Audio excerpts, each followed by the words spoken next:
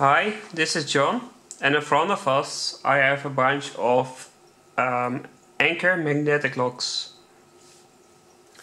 These have 8 magnets and 4 pins. It's um, yeah, dimple-ish. I want to learn more about these locks, so I'm going to take one apart.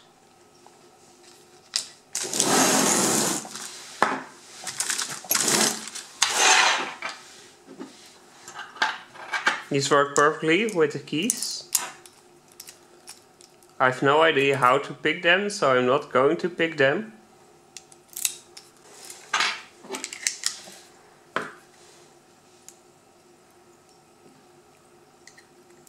First off, we need to remove the circlip. It's always a pain to get these out.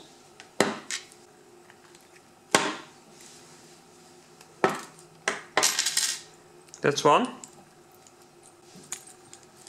That's two.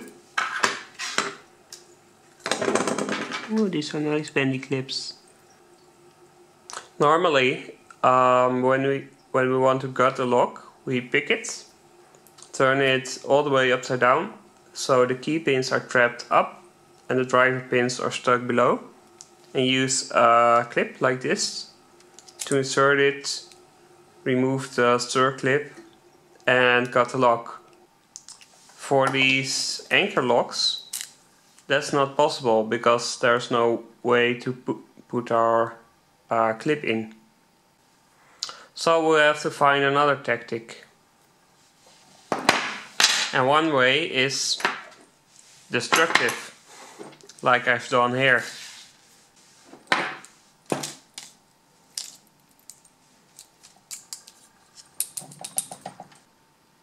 I've taken one core out and the second one we will uh, take out with the follower. Pull it out slightly so I can remove the tail piece. Can I remove the tail piece? Yeah, there you go. There we go. Take our follower. And it's the wrong size. What I've got here is my paper follower. It's uh, state of the art and works fantastically.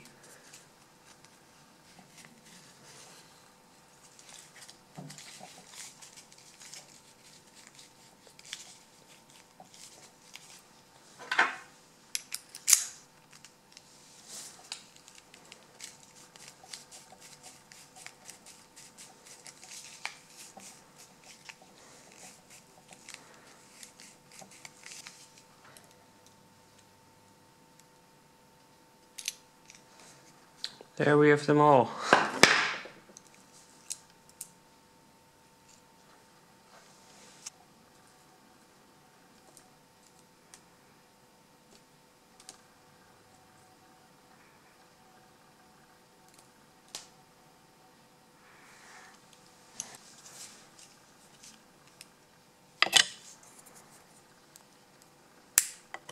Pin 1 is um, yeah, what does it look like? it's uh, it's on the ground. Yeah, I should get a pinning tray or get get one made. this will be my pinning tray.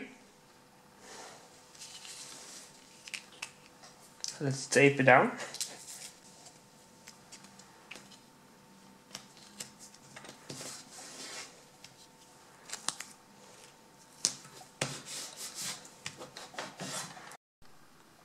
These locks are quite interesting as the cylinder has um, insert, it has uh, little holes inside. Its um, its core has matching holes where um, yeah little pins. Uh, they are like um, like sliders magnetic sliders. They fit inside these holes.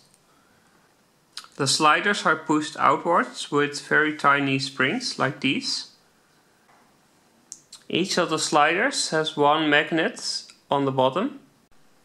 These are the pins from the lock. Uh, it has uh, slight serrations on the end uh, for all pins. Uh, one is longer, I think it's um, anti-bump pin or similar. Uh, these are two different keys with the sliders on top. Uh, these are the correct sliders on the correct key. These are the sliders on the wrong key. You can see uh, slider 1, 2 and 4 are sticking out more than they should. So the lock won't turn. Thank you for watching because there's no no place.